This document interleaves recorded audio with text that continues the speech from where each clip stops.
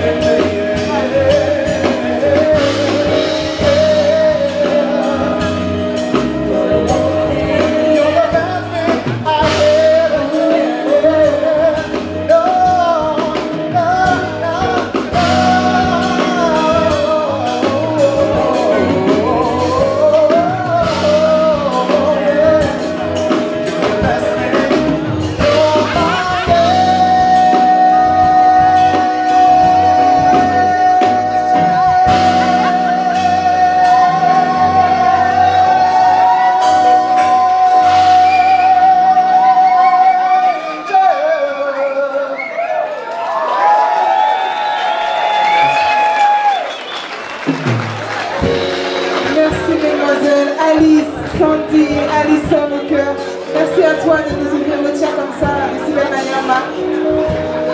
C'était Angel Doré, la version Leila Hathaway, version Moka. La famille pour compter nos portables aux lumières. Ça commence ce premier set en douceur, tranquillement, et vous levez en douceur également vos portables pour encourager Marc Moka.